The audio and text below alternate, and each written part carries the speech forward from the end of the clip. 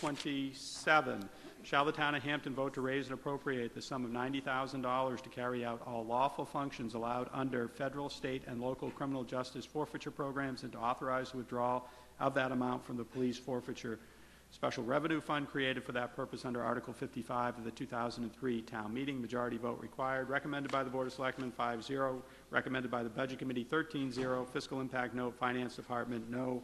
Tax impact. Is there a motion to open discussion on Article 27? Moved by Ms. Woolsey. Is there a second? Seconded by Mr. Bridle. Ms. Woolsey, would you like to address Article 27?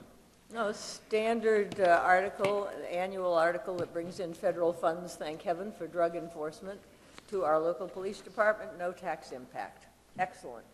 Thank you, Ms. Woolsey. Anyone else wishing to be heard on Article 27? Seeing none, Article 27 will appear on the ballot as printed.